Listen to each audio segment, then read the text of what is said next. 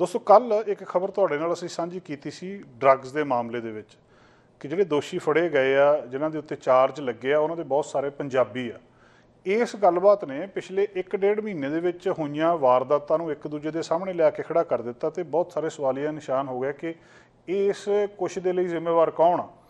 ਪਿਛਲੀਆਂ ਲਗਭਗ 20-25 ਦਿਨ ਦੇ ਵਿੱਚ ਚਾਰ ਵੱਡੀਆਂ ਘਟਨਾਵਾਂ ਵਾਪਰੀਆਂ। ਚਾਰ ਵੱਡੀਆਂ ਘਟਨਾਵਾਂ ਦਾ ਸਬੰਧ ਕੈਨੇਡਾ ਨਾਲ ਆ, ਅਮਰੀਕਾ ਨਾਲ ਆ ਤੇ ਇੰਡੀਆ ਨਾਲ ਆ। ਤੇ ਇਹਨਾਂ ਦੇ ਵਿੱਚ ਜਿਹੜੀ ਸਾਂਝਾ ਸੂਤਰ ਇਹ ਆ ਕਿ ਇਹਨਾਂ ਸਾਰੇ ਉਹਨਾਂ ਥਾਵਾਂ ਦੇ ਉੱਤੇ ਘਟਨਾਵਾਂ ਵਾਪਰਦੀਆਂ ਜਿੱਥੇ ਪੰਜਾਬੀਆਂ ਦੀ ਬਹੁਤ ਗਿਣਤੀ ਹੈ। ਇੰਡੀਅਨ ਭਾਰਤੀ ਜਿੱਥੇ ਮੂਲ ਦੇ ਲੋਕ ਜ਼ਿਆਦਾ ਰਹਿੰਦੇ ਆ। ਤੇ ਕਿਤੇ ਨਾ ਕਿਤੇ ਚਾਰ ਦੇ ਵਿੱਚੋਂ ਦੋ ਘਟਨਾਵਾਂ ਦੇ ਵਿੱਚ ਸਿੱਧਾ ਪੰਜਾਬੀਆਂ ਦਾ ਨਾਂ ਆਉਣਾ, ਜਿਹੜੀ ਸੈਕਰਾਮੈਂਟੋ ਦੇ ਵਿੱਚ ਪਿਛੇ ਜੇ ਘਟਨਾ ਵਾਪਰੀ ਆ, ਉਹਦੇ ਵਿੱਚ ਤਿੰਨ ਪੰਜਾਬੀਆਂ ਦਾ ਨਾਂ ਆਉਣਾ ਤੇ ਕੱਲ ਜੋ ਕੁਝ ਟੋਰਾਂਟੋ ਦੇ ਵਿੱਚ ਹੋਇਆ, ਉੱਥੇ 22 24 ਬੰਦਿਆਂ ਦੇ ਨਾਂ ਆਉਣੇ, ਉਹਨਾਂ ਦੇ ਵਿੱਚ ਇੱਕ ਪੰਜਾਬਣ ਕੁੜੀ ਦਾ ਵੀ ਨਾਂ ਆਉਣਾ। ਇਹ ਚਾਰੋਂ ਘਟਨਾਵਾਂ ਔਰ ਉਹਦੇ ਵਿੱਚ ਖਾਸ ਗੱਲ ਜਿਹੜੀ ਜਿਸ ਕੱਲ ਵਾਲੀ ਗੱਲ ਨੇ ਜਿਹਦੇ ਵਿੱਚ ਲੋਕਾਂ ਨੂੰ, ਉਹਨਾਂ ਨੇ ਚਾਰਜ ਕੀਤਾ, ਉਹਦੇ ਵਿੱਚ ਵੱਡੀ ਜਿਹੜੀ ਗੱਲ ਸਭ ਤੋਂ ਸਾਹਮਣੇ ਆ ਰਹੀ ਹੈ ਕਿ ਇਸ ਸਾਰੇ ਦੇ ਸਾਰੇ ਨਸ਼ਾ ਤਸਕਰ ਦਾ ਸਬੰਧ ਕੈਲੀਫੋਰਨੀਆ ਦੇ ਨਾਲ ਵੀ ਆ, ਅਮਰੀਕਾ ਦੇ ਨਾਲ ਵੀ ਆ ਤੇ ਇੰਡੀਆ ਦੇ ਨਾਲ ਵੀ ਆ। ਸੋ ਇਹ ਨਸ਼ੇ ਨੇ ਇੱਥੇ ਆ ਕੇ ਵੀ ਸਾਡਾ ਪਿੱਛਾ ਨਹੀਂ ਛੱਡਿਆ। ਦੋ ਇਹਦੇ ਬਾਰੇ ਵੱਖ-ਵੱਖ ਤਰ੍ਹਾਂ ਦੀਆਂ ਜਿਹੜੀਆਂ رائے ਦਿੱਤੀਆਂ ਜਾ ਰਹੀਆਂ ਕੁਝ ਲੋਕ ਤਾਂ ਕਹਿੰਦੇ ਆ ਕਿ ਇਹ ਸਿਰਫ ਪੰਜਾਬੀ ਭਾਈਚਾਰੇ ਨੂੰ ਬਦਨਾਮ ਕਰਨ ਵਾਲੀ ਗੱਲ ਹੈ ਵੀ ਠੀਕ ਆ ਕੁਝ ਲੋਕ ਮਾੜੇ ਸੀਗੇ ਜਿਹੜੇ ਗਲਤ ਕੰਮ ਕਰਦੇ ਆ ਸਾਰੇ ਪੰਜਾਬੀ ਤਾਂ ਨਹੀਂ ਕਰਦੇ ਇਹਦੇ ਲਈ ਇਹ ਕਹਿ ਕੇ ਵੀ ਇਹ ਪੰਜਾਬੀ ਆ ਅਸੀਂ ਆਪਣੇ ਆਪ ਨੂੰ ਆਪ ਹੀ ਬਦਨਾਮ ਕਰੀ ਜਾਂਦੇ ਆ ਬਾਕੀ ਕਮਿਊਨਿਟੀ ਦੇ ਵਿੱਚ ਵੀ ਮਾੜੇ ਲੋਕ ਹੁੰਦੇ ਆ ਕਣਕ ਚ ਕਾਂਗਿਆਰੀ ਹੁੰਦੀ ਆ ਇਸ ਕਰਕੇ ਇਹਨੂੰ ਜਨਰਲਾਈਜ਼ ਨਹੀਂ ਕੀਤਾ ਜਾਣਾ ਚਾਹੀਦਾ ਵੀ ਇਹ ਕੋਈ ਬਹੁਤ ਵੱਡਾ ਮਾੜੀ ਗੱਲ ਹੋਈ ਆ ਇਹਦੇ ਬਾਰੇ ਇਹ ਵੀ ਕਿਹਾ ਜਾ ਰਿਹਾ ਕਿ ਇਹਨੂੰ ਇੰਨਾ ਡਿਸਕਸ ਨਹੀਂ ਕੀਤਾ ਜਾਣਾ ਚਾਹੀਦਾ ਮਾੜੇ ਬੰਦਿਆਂ ਨੂੰ। ਪੰਜਾਬੀਆਂ ਦੀਆਂ ਬਹੁਤ ਸਾਰੀਆਂ ਪ੍ਰਾਪਤੀਆਂ ਇਸ ਵੇਲੇ ਕੈਨੇਡਾ ਦੇ ਵਿੱਚ ਡਿਫੈਂਸ ਮਿਨਿਸਟਰ ਜਿਹੜੇ ਪੰਜਾਬੀ ਆ, ਭਾਰਤੀ ਮੂਲ ਦੇ ਆ, ਅਮਰੀਕਾ ਦੇ ਵਿੱਚ ਕਿੰਨੇ ਇੰਡੀਅਨ ਆ ਜਿਹੜੇ ਉੱਚ ਅਹੁਦਿਆਂ ਦੇ ਉੱਤੇ ਆ ਵਾਈਸ ਪ੍ਰੈਜ਼ੀਡੈਂਟ ਤੋਂ ਲੈ ਕੇ ਕਿਤੇ ਨਾ ਕਿਤੇ ਉਹਨਾਂ ਦਾ ਸਬੰਧ ਇੰਡੀਆ ਦੇ ਨਾਲ ਜੁੜਦਾ ਆ। ਐਸੇ ਤਰ੍ਹਾਂ ਹੀ ਵਿਰੋਧੀ ਪਾਰਟੀ ਦੇ ਆਗੂ ਇੱਥੇ ਐਨਡੀਪੀ ਦੇ ਜਿਹੜੇ ਆਗੂ ਆ ਸਦਾ ਜਗਮੀਤ ਸਿੰਘ, ਉਹਨਾਂ ਦਾ ਨਾਂ ਕਿ ਬਹੁਤ ਨਾਂ ਨੇ। ਪੁਲਿਸ ਦੇ ਵਿੱਚ ਕਿੰਨੇ ਲੋਕ ਨੇ, ਉਹਨਾਂ ਦਾ ਜ਼ਿਕਰ ਕਿਉਂ ਨਹੀਂ ਕਰਦੇ? ਜੇ ਕਿਤੇ ਕੋਈ ਇਦਾਂ ਦੀ ਘਟਨਾ ਵਾਪਰ ਜਾਂਦੀ ਆ ਤਾਂ ਉਹਦੇ ਵਿੱਚ ਹੀ ਵਾਰ-ਵਾਰ ਕਿਉਂ ਇਹਨਾਂ ਦਾ ਨਾਂ ਲਿਆ ਜਾਂਦਾ ਕਿ ਪੰਜਾਬੀ ਇਸ ਕੰਮ ਦੇ ਵਿੱਚ ਜਿਹੜੇ ਇਹ ਕੰਮ ਕਰਦੇ ਆ? ਇਹ ਇੱਕ ਪਾਸਾ ਆ ਤਸਵੀਰ ਦਾ। ਜਿਹੜੀ ਚਰਚਾ ਲੋਕਾਂ ਦੇ ਵਿੱਚ ਚੱਲ ਰਹੀ ਆ, ਉਹਦੇ ਵਿੱਚ ਇੱਕ ਪਾਸੇ ਇਹ ਗੱਲਾਂ ਬਾਤਾਂ ਹੋ ਰਹੀਆਂ।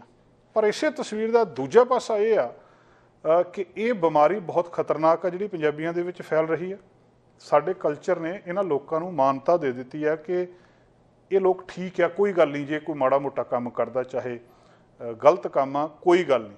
ਸਾਡੇ ਸੱਭਿਆਚਾਰ ਨੇ, ਸਾਡੇ ਗੀਤਾਂ ਨੇ ਘਰ ਦੀ ਸ਼ਰਾਬ ਹੋਣੀ, ਇਹ ਅਸੀਂ ਇਹਨੂੰ ਇਹਨੂੰ ਇਹਨੂੰ ਮਾਨਤਾ ਦੇ ਦਿੱਤੀ ਕਿ ਇਹ ਠੀਕ ਹੈ।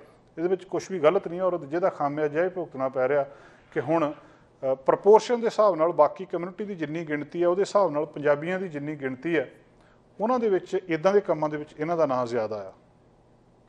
25 ਮਾਰਚ ਦੀ ਜਿਹੜੀ ਘਟਨਾ ਸੀ ਇੱਕ ਵਰਤੀ, ਆਪਾਂ ਚਾਰੋਂ ਘਟਨਾਵਾਂ ਬਰੀਫ ਦੇ ਵਿੱਚ ਸਾਂਝੀਆਂ ਕਰਦੇ ਕਿ ਇੱਕ ਦੂਜੇ ਦੇ ਨਾਲ ਇਹਨਾਂ ਦੀਆਂ ਤੰਦਾਂ ਕਿੱਦਾਂ ਜੁੜਦੀਆਂ ਜਾਂ ਇਹ ਸਾਨੂੰ ਭਾਰਤੀ ਪੰਜਾਬੀਆਂ ਨੂੰ ਕਿਸ ਤਰ੍ਹਾਂ ਪ੍ਰਭਾਵਿਤ ਕਰ ਰਹੀਆਂ ਔਰ ਇਹਦੇ ਉੱਤੇ ਪੰਜਾਬ ਦੇ ਵਿੱਚ ਨਸ਼ੇ ਦੀ ਗੱਲਬਾਤ ਹੁੰਦੀ ਹੈ। ਪੰਜਾਬ ਦੇ ਵਿੱਚ ਕਿਹਾ ਜਾਂਦਾ ਕਿ ਉੱਥੇ ਰੋਜ਼ਗਾਰ ਨਹੀਂ, ਉਹਨਾਂ ਰੋਜ਼ਗਾਰ ਦੇ ਮੌਕੇ ਨਹੀਂ, ਬੇਰੋਜ਼ਗਾਰੀ ਆ ਜਾਂ ਉੱਥੇ ਗਵਾਂਢੀ ਦੇਸ਼ ਤੋਂ ਨਸ਼ਾ ਆ ਰਿਹਾ ਜਾਂ ਹੋਰ ਜਿਹੜੀਆਂ ਗੱਲਾਂ ਬਾਤਾਂ ਕੀਤੀਆਂ ਜਾਂਦੀਆਂ, ਇੱਥੇ ਕਿਹੜੀ ਸਮੱਸਿਆ ਆ? ਫਿਰ ਇੱਥੇ ਕਿਉਂ ਨਸ਼ਾ ਆ? ਸਾਡੀ ਕਮਿਊਨਿਟੀ ਦੇ ਵਿੱਚ ਕਿਉਂ ਇਹ ਚੀਜ਼ਾਂ ਆ?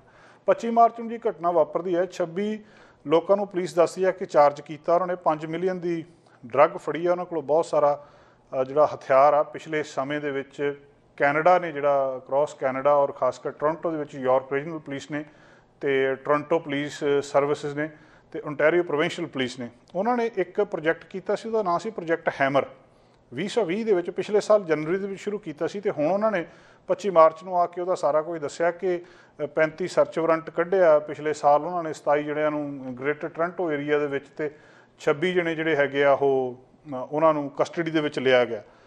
ਇਹ ਸਾਰਾ ਕਨੈਕਸ਼ਨ ਉਸ ਥਾਂ ਦੇ ਉੱਤੋਂ ਆਉਣਾ ਜਿੱਥੇ ਪੰਜਾਬੀਆਂ ਦੀ ਬਹੁਤ ਗਿਣਤੀ ਆ ਵੱਡੇ ਲੈਵਲ ਦੇ ਉੱਤੇ ਇਹ ਚੀਜ਼ਾਂ ਦਾ ਬਰਾਮਦ ਕੀਤਾ ਜਾਣਾ।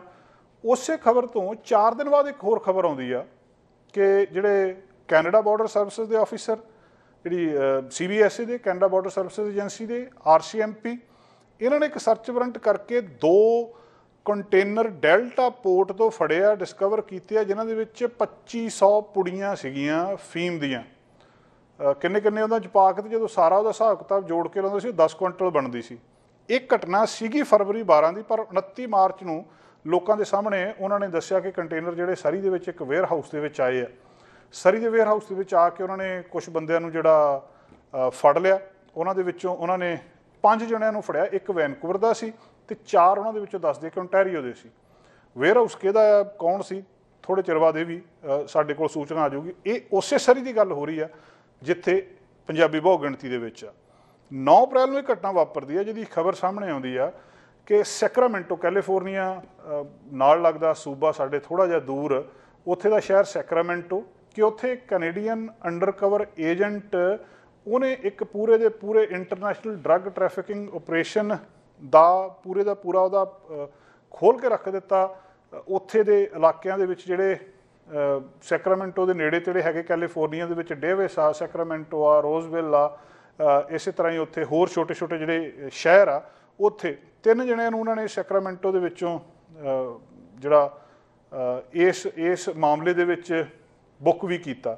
ਹੁਣ ਉਹਦੇ ਤੋਂ ਬਾਅਦ ਕੁਝ ਨਾਂ ਸਾਹਮਣੇ ਆਏ ਔਰ ਉਹ ਜਿਹੜੇ ਨਾਂ ਸੀਗੇ ਉਹਦੇ ਵਿੱਚ ਪੰਜਾਬੀ ਨਾਂ ਸੀ, ਤਿੰਨ ਪੰਜਾਬੀ ਨਾਂ ਉਹਨਾਂ ਦੇ ਵਿੱਚੋਂ ਸਾਹਮਣੇ ਆਉਂਦੇ ਆ ਉੱਥੋਂ ਦੇ ਇੱਕ ਅ, 55 ਸਾਲ ਦਾ ਇੱਕ 38 ਸਾਲ ਦਾ ਤੇ ਇੱਕ 33 ਸਾਲ ਦਾ। ਉਹਨਾਂ ਨੂੰ ਚਾਰਜ ਕੀਤਾ ਉਹਨਾਂ ਨੇ।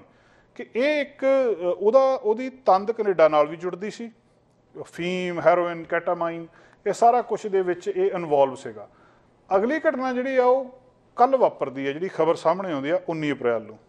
ਜਿਹੜੀ ਇਹ ਤੋਂ ਪਹਿਲੀ ਘਟਨਾ ਜਿਹਦਾ ਅਸੀਂ ਕੈਲੀਫੋਰਨੀਆ ਵਾਲੀ ਦਾ ਜ਼ਿਕਰ ਕਰਕੇ ਹਟੇ ਆ ਇਹਦੇ ਵਿੱਚ ਸਿੱਧਾ ਸਿੱਧਾ 9 ਅਪ੍ਰੈਲ ਵਾਲੀ ਘਟਨਾ ਦੇ ਵਿੱਚ ਪੰਜਾਬੀਆਂ ਦਾ ਨਾਂ ਆਉਂਦਾ।